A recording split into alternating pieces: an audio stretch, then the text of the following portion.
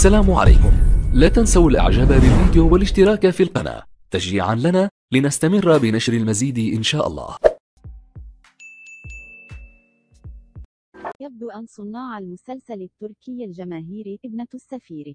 بدأوا بالوفاء بما قالوه سابقا بأن يقوموا بزيادة عدد المشاهد التي يظهر فيها الفنان التركي أوراز أوغلو والذي يلعب دورة غيديز.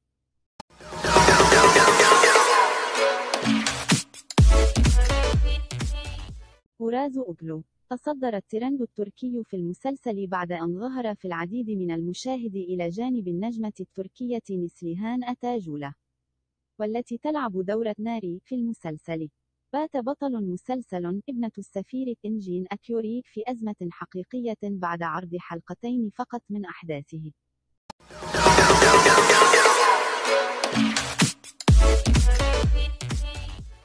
بدأ عرض الحلقة الأولى للمسلسل التركي استطاع النجم الشاب أوراز أوغلو احتلال مساحة واسعة. في قلب الجمهور التركي والعربي مطالبين بأن يجري تعديل السيناريو ليكون هو حبيب ناره بديلا عن سنجار. إيفه والذي يلعب دوره النجم التركي أنبن أكيوريك لما أظهره سنجار من عنف في الطريقة التي تعامل بها. مع حبيبته ناره بعدما علم بتعرضها لاعتداء جنسي.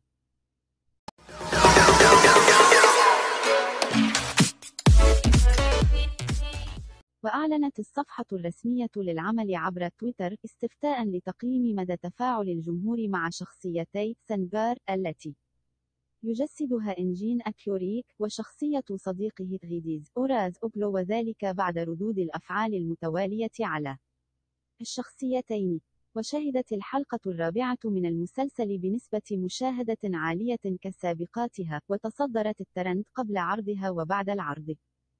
وجاءت نتيجة التصويت صادمة إذ عبر المصوتون عن رغبتهم في أن يصبح الثنائي الرئيسي للعمل هما ناري.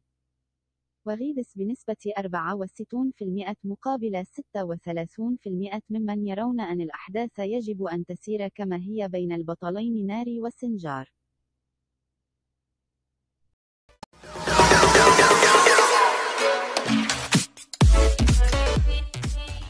يذكر أن من يقوم بإخراج العمل قام بنشر صور جديدة تجمع بينه وبين كل من الممثل أنبن أكيوريك وأوراز.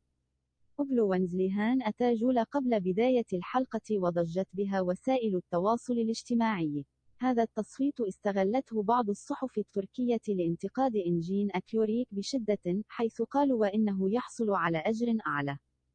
مقارنة بزميله الذي يلعب شخصية غيديز، ويبذل كل الجهد من أجل تحويلها لشخصية محبوبة وداعمة للبطلة. حيث طالبت شركة الإنتاج بالضغط على كاتبة العمل من أجل تغيير المساحة الزمنية لشخصية غيديز على الشاشة كي يحصل على اهتمام أكثر.